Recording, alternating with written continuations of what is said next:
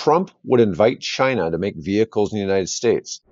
Um, Trump's saying he would even increase the tariffs as high as 200% on each car to prevent the Chinese EV makers from, you know, trying to bring those cars into the country. It's eventually going to be profitable for Ford and GM and Stellantis to make electric vehicles. It is profitable for Tesla, Volkswagen, Volvo, BYD, Hyundai, and Kia. Okay? They can all make electric vehicles profitably. Why can't the big three US companies?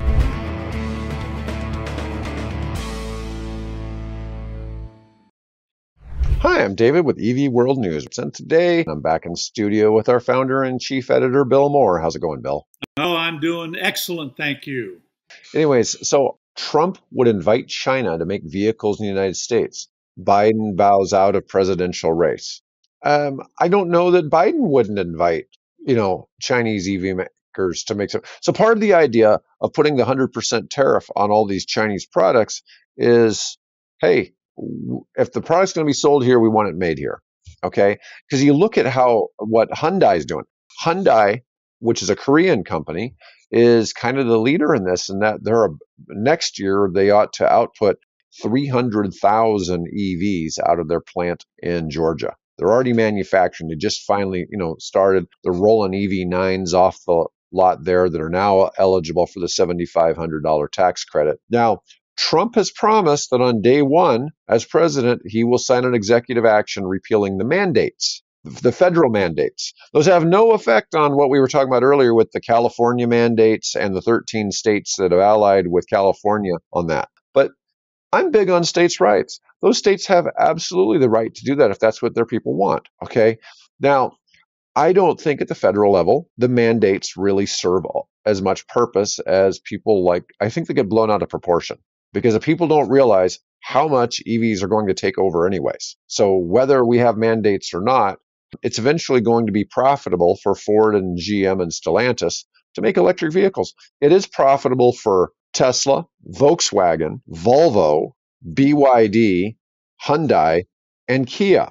Okay, they can all make electric vehicles profitably. Why can't the big three US companies? So to me, that's if, if six other companies can do this, why is it that the big three American companies can't do it? You have to look at that. It's like, hey, um, and they're going to, and they're doing it in the United States. Uh, that's a big piece. Now, I can also think of other companies that aren't profitably making vehicles. Rivian and Lucid are perfect examples. Okay, that aren't profitable at making passenger vehicles profitably. Will they ever be able to? Yeah, yeah. We were talking about this before we got on the show. In that, what Rivian has this new R2 SUV that's coming out soon. They've got 100,000 pre orders now for it.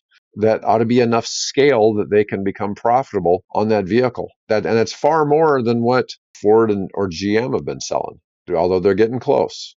So, I mean, what was it? Total US EV sales in the last quarter was like 380,000 for three months. Yeah. Which was an all time record. And eventually you're going to have people come there. But um, Trump's saying he would even increase the tariffs as high as 200% on each car to prevent the Chinese EV makers from, you know, trying to bring those cars into the country. If, sure. if Trump is elected, he says he's going to he's going to executive action, take executive against the mandates. Okay, but what he can't do is because those were created by executive action. He's not going to go repeal the Inflation Reduction Act because he doesn't have that power. So the, eh, the Inflation Reduction Act was a law enacted under the Biden administration, right? And they could come up with a new law, but it has Congress.